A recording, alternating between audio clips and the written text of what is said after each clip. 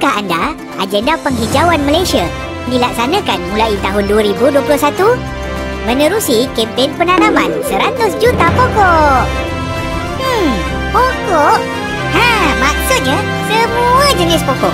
Tumbuhan berkayu yang mempunyai akar, batang, dahan dan daun.